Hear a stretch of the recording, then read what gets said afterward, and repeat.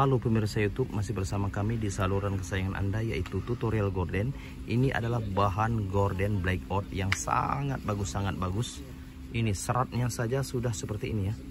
Bahan gorden blackout. Seratnya sangat bagus seperti ini. Ini bisa digunakan blackout gorden ini untuk gorden rumah Anda. Gorden rumah yang tinggi ya, yang nyampai hingga ke plafon.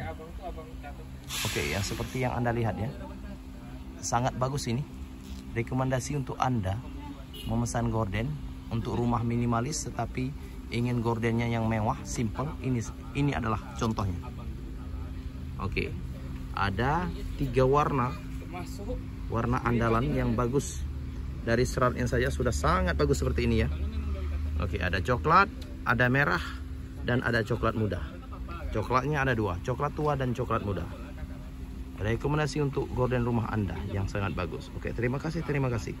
Jangan lupa untuk klik tombol subscribe dan like video kami. Salam tutorial gorden.